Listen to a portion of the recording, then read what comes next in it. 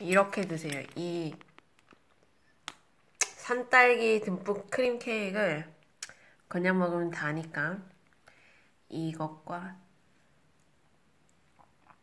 이 호두와 같이 먹으면 안 달고 먹을만 합니다. 그냥 먹어도 맛있긴 합니다. 디저트로 먹으면 달면 좋긴 하겠죠?